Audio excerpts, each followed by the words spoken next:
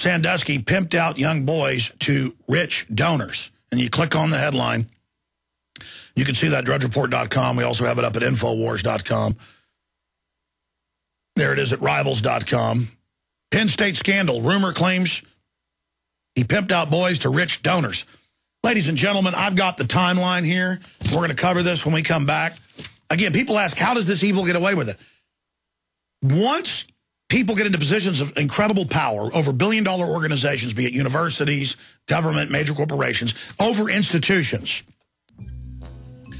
they knowingly engage in crimes and get others involved who just know, like the head coach and, and the president and others of the university, so then they can compromise them on every issue. It's called a corruption. It's not corruption, a corruption, a corrupting. Okay? And it turns out the police knew about this 15 years ago and covered it up. Of course they did. Of course they did. We're on the march. The Empire's on the run. Alex Jones and the GCN Radio Network. You've heard Alex explain how the Silver Lungs generator infuses the respiratory system with your self-produced colloidal silver solutions, yet many are unaware of the entire function of the Silver Lung system and how it has been designed to deliver your silver solutions anywhere in or on the body. My name is Mario Cifaldi, and I'm the developer of the Silver Lungs generator. Not only does the Silver Lung system produce endless colloidal and ionic silver solutions, it also comes equipped with the proper applicators and devices needed to deliver your silver solutions directly to key target areas. This includes the eyes, ears, nose, lungs, topically to the skin, and orally for the digestive system. Be sure to watch our new 7-minute video tour of the Silver Lung system at www.silverlungs.com to learn more about how the Silver Lung system works. As well, we are always ready to answer any questions you may have. That's www.silverlungs.com. Hi, this is Alex Jones. This holiday season, more than half of our nation is in need of help due to the shattered economy. So now is the time to express the holiday spirit more than ever. Consider helping those you love with the most important gift, a supply of delicious, easy to fix, and very storable foods from efoodsdirect.com. Their holiday gift and family packs start at $99 or a 16-day supply while their five-week supply of quick and easy-to-fix meals includes a personal backpack in case of a grab-and-go emergency. Order their combo gift pack, and you'll save hundreds, plus get free shipping on your entire order. Call eFoods today at 800-409-5633 or visit them online at efoodsdirect.com forward slash Alex to find the special. That's 800-409-5633 or efoodsdirect.com forward slash Alex. You can bet your life on eFoods Direct. When you're out on the road, the last place you want to be is on the road. But if the unfortunate happens, you'll be glad you were wearing diamond gussets. There's a place down in Tennessee where they make blue diamond gusset jeans. They so pride in every stitch. Guarantee you love the way they fit. They put a diamond gusset in the crotch where you need it most. Blue diamond gussets got it, others don't.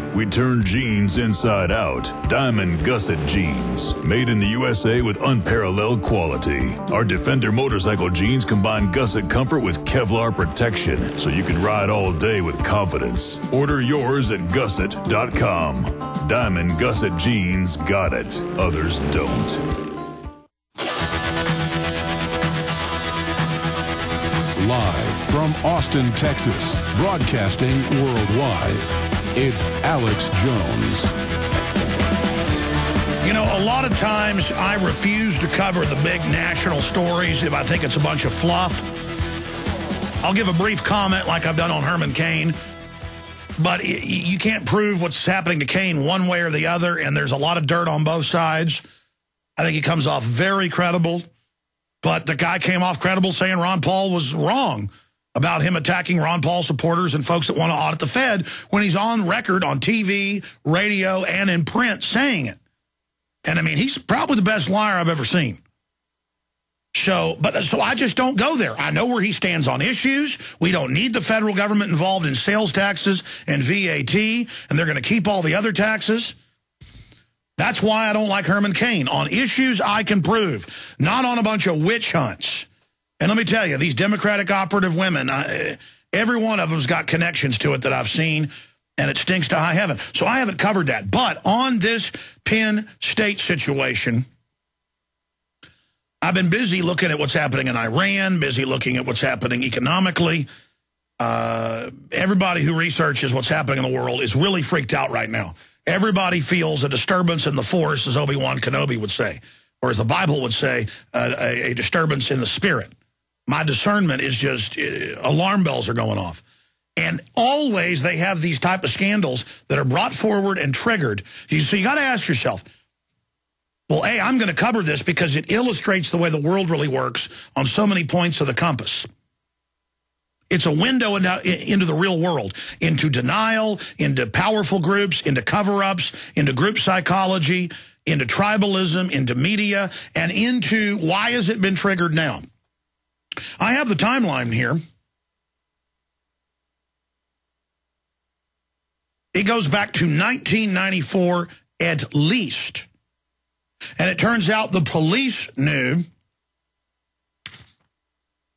as of 1998, and the university pressured them. The reporters all got threatened. I mean, this is all in the news now. And they were able to cover up, and this guy was able to continue. And, and, and here, here's an even bigger issue. I am hearing sports writers, because I've been following this now more closely the last few days because it's such an incredible window into how the real world works, as I just said. They're actually saying we've got to continue the season. We have, uh, you know, the, the, the coach shouldn't have been fired, the head coach. And this big mob, I'll play a clip in a minute, of students saying, bring back the coach one more game. They're not even worried about the fact that there's a university. All of their board should be gone that was part of this. The president, it's not enough. All of them. All of the coaches, undoubtedly.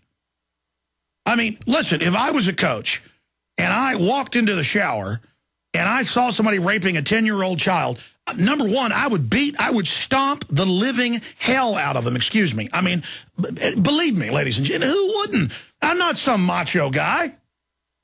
It's clobbering time. That guy's going to have a broken jaw and his nose is going to be hanging off. I'm going to have blood coming out of my fist. I'm going to be hitting him so hard I'm splitting my knuckles. You know what? I realize this, and my wife's a witness to it, and I'm nothing special. Everybody came up and said, you're a hero. I was in La Madeleine eight years ago. My son was about two. So eight and a half years ago or so. And this woman with her family starts choking. I'm in the bathroom, and I hear yelling. I go to wash my hands. You know, I come back out, and there's a woman with all these people standing around saying, dial 911, and she's turning blue. It's been going on about a minute while I've been in there. And I say, give her the Heimlich. Who knows how to do it? Of course, I took it when just, a little junior fire department thing, not a full certification, when I was on swim team the fourth year, when I was like 13. Last year I did it. I should have stayed in it, man. But the point is that I had to then start going, well, excuse me, excuse me, excuse me. And they were going, no, no, wait for police dial 911. Everybody's dialing 911. And I and I said, it'll take them on average 12 minutes to get here. And I have to shove them, and somebody starts shoving on me. And I get over to the woman. She's now on the table, purple. This has been going on a minute and a half. Okay? And they're going, how dare you? Ah, oh, my God, you're going to hurt her. And she's she's somewhat overweight. She probably weighed 200 pounds. And I stand her up. I get her up. And I do the Heimlich. Do it once, do it twice, to do it hard. She goes, Bleh, and a big ball of bread with a little bit of vomit comes out. And she goes, and she's like, oh, and, then I and everybody's like, oh, you're a hero. Stay here. And I knew this was a bunch of ninnies. I'd probably get sued if I broke her rib or something because I had to really pick her up. Uh, and I was like, get out of here. We're not even going to finish eating. Let's go. My wife's like, why not? They're like, you're a hero. You're a hero. This was demonic ninnies. I had to get out of there. So, so I don't understand it. I mean, I walk into a shower. Somebody's got a 10-year-old bent over raping them. I mean, it, you, I am going to stomp the daylights out of you. I am going to, I mean, I'd be uncontrolled. I guarantee you once I got you on the ground, you're going to get stomps. I mean, you're going to get stomped.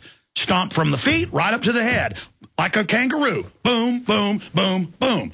It's, it's, oh, yeah, you're probably not going to live.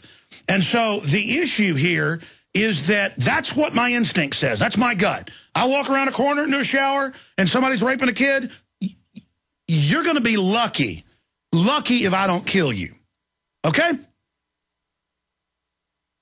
I don't understand this culture now where they say one out of 10 people will rush in during an emergency. That's why I admire firefighters, the men and women of firefighting. I admire police. I'll be honest with you. The profession of a peace officer, charging in against criminals, charging into danger, that's what humanity's all about. That's why it's so evil it's been corrupted. They haven't corrupted the firefighters yet, and God bless them, and I contribute to them and, and uh, give the volunteer fire departments as much as I can. They're just great men and women. And they're trying to turn them into spies against the people. It makes me so sick. But the fact that for, I don't know, what's 94 to 2011? How many, is that 16 years? 17 years? How long is it? 17 years. And this shows how corruption works. How in mobs of people, I'm sure a very small percentage of them were involved in the raping of children. But they knew, and then for the system, they cover it up. And that's how the big mega banks work, stealing tens of trillions. That's how derivatives work. That's how this plausible deniability works. That's how this corruption works, where the average citizen doesn't put their inspection sticker on a half inch to the right spot. You get the book thrown at you. Or citizens do things that really aren't even illegal, but are regulatory, go to jail. And the system throws the book at us, microphones in the lamps post listening to us, face scanning cameras, total corruption, and the attorney general's on record perjuring himself about shipping guns into Mexico and bringing drugs into the U.S., and Janet Napolitano's been caught doing it. They've all been caught doing it. And, and I understand people who aren't evil find this hard to believe because you're naive. Good people have a blind spot. Believe me. I had a blind spot when I was 11 years old and got off the bus and the cool 14, 15-year-old said, hey, come play in the fort with us in the woods and then beat the living snot out of me. Let's see, I had a wake-up call. I thought all the cops were the best people in the world growing up till I saw cops dealing drugs where I grew up. But you got to grow up sometime. You know what I mean? Because being naive, thinking it's cool to be naive, Behaving like that is what allows a Nazi Germany or a Soviet Russia or a communist China or an authoritarian Pol Pot or Ceausescu or any of these scum. People think they can decide to not believe something. I have people tell me that all the time. Intelligent people, they go, I choose not to believe that. And I go, but look at the facts. I'm not looking at it. I hear what you're saying. I just can't believe that. And it's the same thing I've talked about in criminology. I study criminology a lot because it's a window into human activity. And all of us are a little criminal at some level. It's called sin. It's called aberrant behavior. All of us, you know, you know, have some type of bad side. Just with some people, it's it's it's all they are. And people always go, he was such a nice old man when they find 25 bodies buried in their basement. Or she was such a nice lady when they find, you know, dead kids buried in her in her basement or whatever. People can't ever believe this. And when you get a big institution like a university, when you get a big institution like a big church, uh, or international church, or you get a big institution like the Boy Scouts, or a big institution like the state police, or a big institution like the local police, or a big institution